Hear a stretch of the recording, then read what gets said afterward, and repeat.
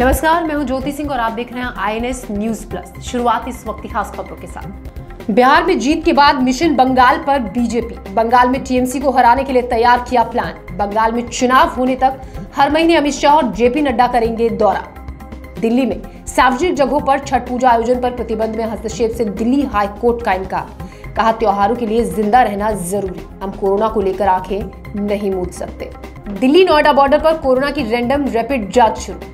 Team तैनात कर आने जाने वाले लोगों का किया जा रहा है टेस्ट। आठ से दस मिनट में दी जा रही है रिपोर्ट। कोरोना के बढ़ते मामलों को देखते हुए दिल्ली सरकार ने सार्वजनिक स्थलों पर छठ पूजा पर जिस तरह से प्रतिबंध लगाया था, उसमें हाई कोर्ट ने हस्तक्षेप करने से इनकार कर दिया। हाई कोर्ट ने कहा जिस तरह से कोरोना की स्थिति राजधानी दिल्ली में है, ऐसी स्थिति में हम इस मुद्दे पर आँखें मूंद कर नहीं बैठ सकते। कोरोना महामारी को देखते हुए राजधानी दिल्ली में केजरीवाल सरकार की ओर से छठ पूजा को सार्वजनिक स्थान पर करने पर पाबंदी लगा दी गई है, जिसके बाद से बीजेपी और पूर्वांचली मोर्चा के कार्यकर्ताओं ने इस फैसले का जमकर विरोध किया। वहीं अब दिल्ली हाई कोर्ट ने भी तालाबों और नदी के किनारों जैसे सार्वजनिक स्थानों पर छठ पूजा मनाने की अनुमति देने से इनकार कर दिया है। हाईकोर्ट का कहना है कि याचिकाकर्ता दिल्ली में कोरोना की स्थिति से अनभिज्ञ है। साथ ही ये भी कहा कि किसी भी धर्म के त्योहार को मनाने के लिए आपको सबसे पहले जीवित रहना होगा। जहाँ एक तरफ़ दिल्ली में कोरोना के मामले बढ़ते ही जा रहे हैं, वहाँ दिल्ली हाई कोर्ट ने आज एक बड़ा फैसला सुना है, जहाँ पर एक याचिका जो कि यह दरखास्त कर रही थी कि दिल्ली में छठ पूजा के लिए लोगों को एकत्रित होने दिया जाए, उसको पूरी तरी, पूर्ण तरीके से खारिज किया है और कहा है कि जो जो याचिका करता है यहाँ पटिशनर हैं उनको बिल्कुल अंदाज़ा नहीं है कि दिल्ली के हालात क्या हैं। दिल्ली में ऑलरेडी जो है तीसरी कोरोना वायरस की वेव चल रही है और इसके चलते ऐसी मंजूरी देना बिल्कुल भी अमान्य होगा। दिल्ली हाईकोर्ट की दो जजों की खंडपीठ ने आज दिल्ली गवर्नमेंट का ऑर्डर जिसमें दिल्ली गवर्नमेंट ने ये कहा था कि जो छठ पूजा के लिए जो लोग इकट्ठा होते हैं वो नहीं हो पाएँगे इस बार। उसको बिल्कुल अपहेल्ड किया है और उसको कहा है कि वह ऑर्डर बिल्कुल सही है और उसको बिल्कुल खारिज नहीं किया जा सकता।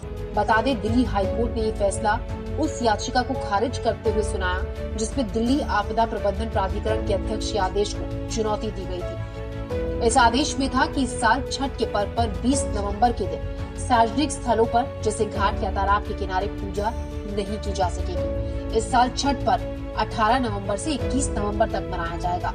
18 नवंबर को इसकी शुरुआत हुई, इस दिन नहाय खाए। 19 नवंबर को खरना 20 नवंबर को संध्या अर्घ और 21 नवंबर की सुबह सूरज को अर्घ देने के साथ इसकी समाप्ति होगी ब्यूरो रिपोर्ट आईएनएसटी बंगाल चुनाव की तैयारियों का जायजा लेने के लिए हर महीने पार्टी अध्यक्ष जेपी नड्डा और अमित शाह बंगाल का दौरा करेंगे और राज्य इकाई द्वारा की जा रही तैयारियों का जायजा लेंगे। तारीखों का ऐलान अभी तक नहीं हुआ है।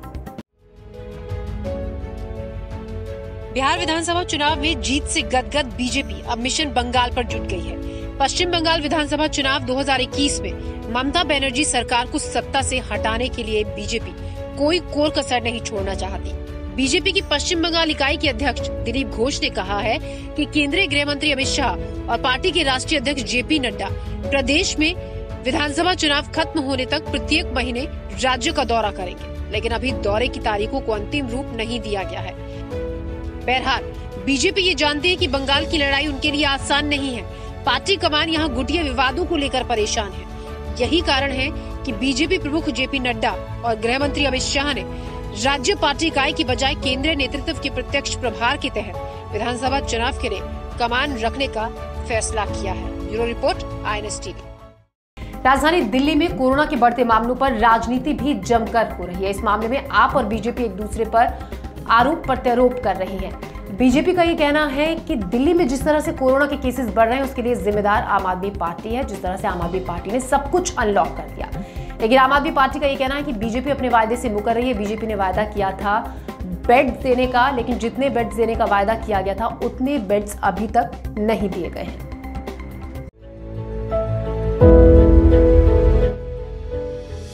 राजधानी दिल्ली में कोरोना के मामलों ने एक बार फिर से दिल्ली वालों की चिंता बढ़ा दी है।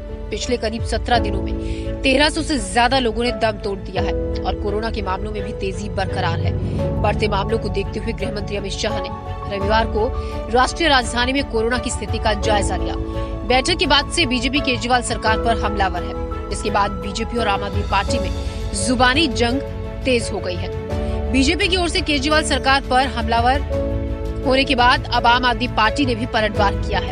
आम आदमी पार्टी का ये कहना है गृह मंत्री के साथ जो बैठक हुई, उसमें तीन दिन में दिल्ली को 750 बेड्स देने का वायदा किया गया था।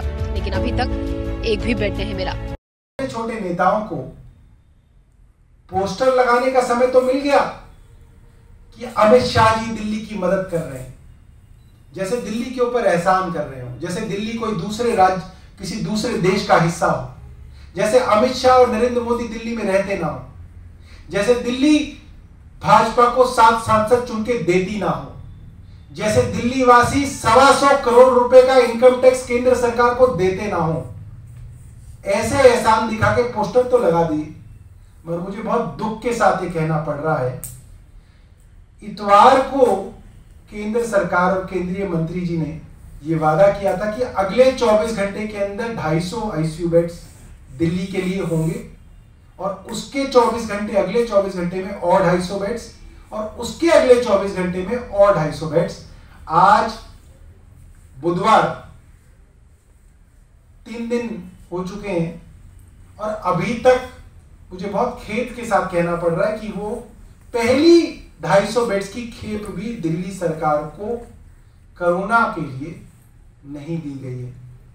मैं मानता हूँ पोस्टरबाजी और क्रेडिट लेने की होड़ आपके लिए हमेशा रहेगी, आप कर सकते हैं।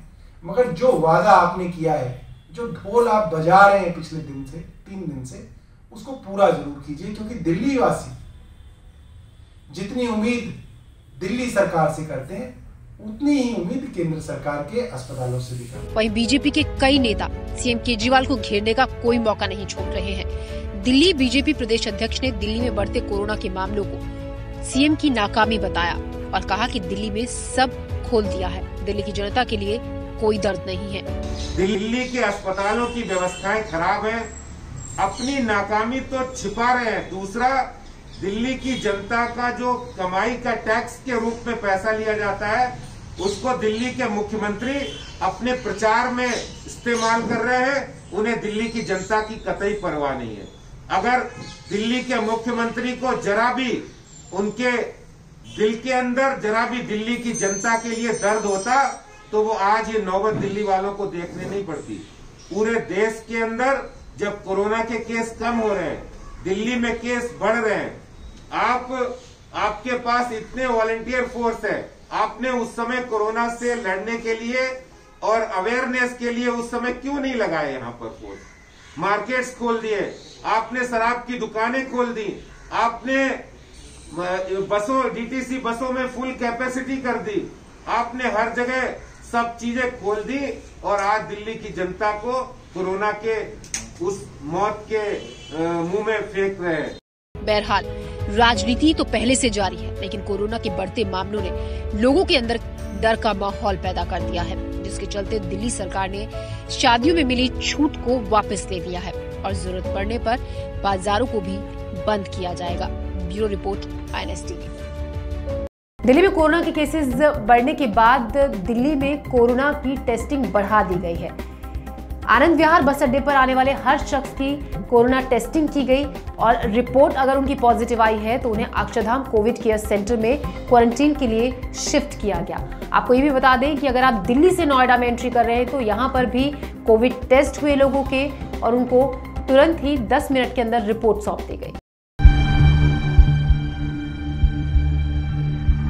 राजधानी दिल्ली में कोरोना का भयानक प्रकोप इन दिनों देखा जा रहा है। दिल्ली में फिर से कोरोना के मामलों में तेज़ी से इजाफा हुआ है। नए आंकड़ों के मुताबिक 24 घंटे में राजधानी में छह हज़ार तीन सौ छियानवे नए केस दर्ज हुए हैं। इसी को देखते हुए जगह जगह टेस्टिंग बढ़ा दी गई है। और इसी क्रम में आनंद विहार बस अड्डे पर आने वाले हर शख्स का कोरोना टेस्ट किया जा रहा है, जिसकी रिपोर्ट कुछ ही वक्त के इंतज़ार के बाद मिल रही है। और जिसकी रिपोर्ट पॉजिटिव है उसे खेलगांव कोविड केयर सेंटर या फिर छतरपुर कोविड केयर सेंटर में क्वारंटीन के लिए भेजा जा रहा है। लेकिन ये भी देखा गया कि टेस्ट के नाम पर कुछ लोगों ने वहाँ से भागने की भी कोशिश की। कोविड पेशेंट निकले हैं इनको अब कहाँ ले जाया जाएगा? Akshardham covid care centre. ये जो चार पाँच निकले हैं संक्रमित हुए हैं चार हुए हैं उनको अक्षरधाम ले जाया जाएगा? अच्छा यहाँ पर जो लोग आते हैं वो अधिकतर यात्री होते हैं या कहाँ से होते हैं? मैक्सिमम यात्री ही होते हैं जो बस से या ट्रेन से ट्रैवल कर रहे होते हैं। फ़िलहाल छठ पूजा है तो मैक्सिमम पेशेंट्स जो फुटफॉल है यहाँ पे बिहार से हैं जो जा रहे हैं या आ रहे हैं। तो जब इनको क्वारंटाइन सेंटर भेजा जाता है तो क्या इनके परिवार में सूचित किया जाता है इस बारे में कि वहाँ भेजा जा रहा है? हमारे सामने ही करते हैं वो सबके पास ही फ़ोन होता है हम ये मेक श्योर करते हैं कि सबके पास फ़ोन हो। और हमारे सामने ही वो अपने घर पे इन्फॉर्म करते हैं। भगने की भी कोशिश करते हैं?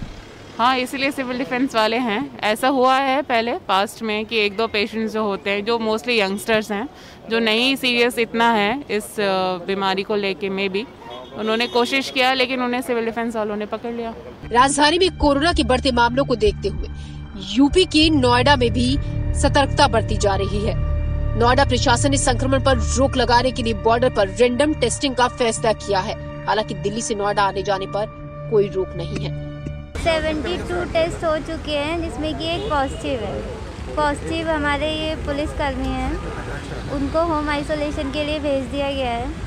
हम रैपिड एंटीजन टेस्ट कर रहे हैं। अभी ये डिसाइड नहीं हुआ है कि अभी ये कितने दिन चलेगा। बहरहाल दिल्ली में कोरोना विस्फोट से ज़बरदस्त दहशत है। संक्रमण के आंकड़े तेज़ी से बढ़ रहे हैं। आलम यह है कि दिल्ली में हर घंटे कोरोना से करीब चार मौत हो रही हैं। राजधानी में बढ़ते मामलों को देखते हुए दिल्ली और केंद्र सरकार इलाज के पूरे इंतज़ाम करने में लगी है। आईसीयू में बिस्तरों की संख्या बढ़ाई जा रही है और ज़्यादा से ज़्यादा डॉक्टरों के इंतज़ाम किए जा रहे हैं। ब्यूरो रिपोर्ट आई दिल्ली में कोरोना का प्रकोप खतरनाक स्थिति में जा पहुँचा है। कोरोना के मद्देनजर दिल्ली के तमाम बड़े अस्पतालों में अलग से इंतज़ाम किए गए हैं। एम्स की ट्रॉमा सेंटर को कोरोना के मरीजों के लिए रख दिया गया है। लेकिन एम्स के डॉक्टर्स का ये भी मानना है कि कोरोना पेशेंट्स के चलते, कोरोना का असर जिस तरह राजधानी दिल्ली में देखा जा रहा है, इसके चलते एम्स में देश के कोने कोने से अपना इलाज कराने के लिए जो गंभीर बीमारियों से ग्रसित मरीज़ पहुँचते हैं, उनकी कहीं ना कहीं अनदेखी हो रही है। उनको वक्त पर इलाज नहीं मिल पा रहा है। आइए देखते हैं इसी पर हमारी ये खास रिपोर्ट।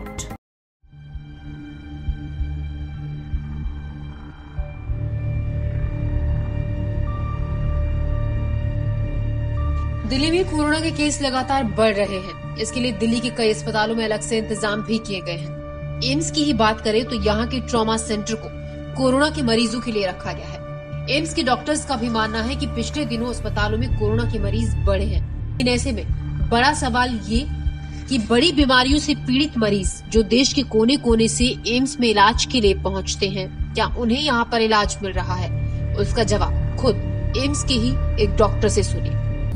हम बहुत कम ही नंबर ऑफ़ पेशेंट कर पा रहे हैं, जो मेलिग्नेंसी को प्रायोरिटीज़ पे रख रहे हैं, बाकी जो सर्जरी की वेट लिस्ट एम्स में तो ऑलरेडी इतना लंबा जो वेट लिस्ट रहता था एक एक दो दो साल का। अब नाव की उनका ये सीन है कि अभी उनको तो लिस्ट में ही नहीं रख रहे, अभी हम उनको कंसीडर ही नहीं कर रहे हैं, क्योंकि सर्जरी के पेशेंट्स इतने ज़्यादा हैं कि, और हम अभी मेलिग्नेंसी को प्रायोरिटी दे रहे हैं तो जो मेलिग्नेंसी के अलावा जो इलनेसेस हैं, उनकी केयर काफ़ी हेम्पर्ड हो रही है। और इनके साथ ही हमें ऐसा लगता है कि जो ट्रॉमा सेंटर है, क्योंकि ट्रॉमा सेंटर एम्स का दुनिया के वर्ल्ड क्लास ट्रॉमा सेंटर में से एक है। तो यहाँ पे जो कॉम्प्लिकेटेड जो केसेस हैं, वो सब आते हैं कहीं ना कहीं उस प्रकार की जो एडवांस केयर है, वो कोविड की वजह से हेम्पर्ड हो रही है। और एम्स का मैं बेसिकली इसके माध्यम से ये भी कहना चाहता हूँ कि एम्स का जो प्राइमरी ऑब्जेक्टिव रहा है, वो ये है कि वो इंडिया का सबसे टॉप इंस्टीट्यूट है। तो इसका कर्तव्य ये है कि जो काफ़ी कॉम्प्लिकेटेड केसेस होते हैं, जिनको अक्रॉस द कंट्री वो एम्स के अंदर ही आते हैं तो कहीं ना कहीं हम उस चीज़ को प्राइमरी ऑब्जेक्टिव को फुलफ़िल नहीं कर पा रहे हैं, क्योंकि पैंडमिक एम्स के अलावा देश के सारे हॉस्पिटल ही पैंडमिक का सामना कर रहे हैं। बट एम्स का जो प्राइमरी ऑब्जेक्टिव है, वो कहीं ना कहीं हम उस चीज़ को पूरा नहीं कर पा रहे हैं। यह है पाँच साल का मासूम प्रिंस जिसके दिल में छेद है। प्रिंस के पापा उसे बिहार से इलाज के लिए एम्स लेकर आए। ये सोचकर कि दिल्ली में इलाज मिलेगा और उनके नन्हे से बेटे को नई ज़िंदगी। लेकिन यहाँ पर निराशा ही हाथ लगी क्योंकि डॉक्टर्स ने कोई संतोषजनक जवाब नहीं दिया। मेरा बच्चा है। अच्छा क्या दिक्कत क्या है? उसका हार्ट का मरीज़ है और दिल का दिल में सुराग है उसका। हम भर्ती कराए थे वो उधर से डॉक्टर थी वो भगा दिया गार्ड बोलता है बाहर जाओ इधर नहीं सोने का हम बाहर लेकर बैठे हैं कल से। कल से बाहर बैठे जी। तो कोई डॉक्टर भी नहीं देखा कोई कुछ नहीं? नहीं कुछ नहीं देखा कहाँ से आए आप? जी, बिहार से। बिहार गोपालगंज जिला। दिक्कत इनका मतलब कि वो दिल दिल का जो में सुराख है। तो दिल में सुराख है तो ये लोग मतलब कि गाँव में ट्रीटमेंट कराए होंगे। तो वहाँ बोल दिए थे कि पाँच साल का बच्चा होगा जब होगा। अब वहाँ पर मतलब कि मना कर दिए। मना करने के बाद अब ये लोग यहाँ लेके आए हैं, वो एम्स में यहाँ के लिए भेजे थे। अब एम्स में लेके आए हैं, कल से लेके आए हैं, कल से ये लोग परेशान हैं। इमरजेंसी में मतलब कि थोड़ा सा दिखाए ये लोग। वहाँ थोड़ा बहुत ट्रीटमेंट किए होंगे, उसके बाद बाहर निकाल दिया। अब देखिए आप फुटपाथ पे हैं। ये तो साफ़ है कि एम्स में पहले ही गंभीर बीमारियों के इलाज के लिए सालों तक की वेटिंग होती थी। और अब कोरोना काल में तो ऐसे मरीजों की हालत बद से बदतर हो गई है। Bureau report I news I news